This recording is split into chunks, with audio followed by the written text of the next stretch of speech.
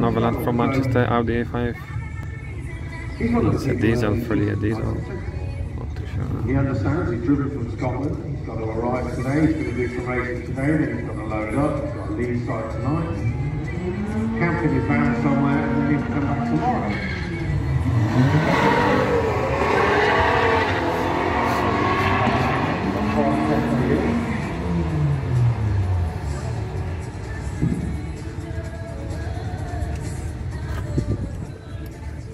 Audi 14.2, Mini 13.4, 100, 110.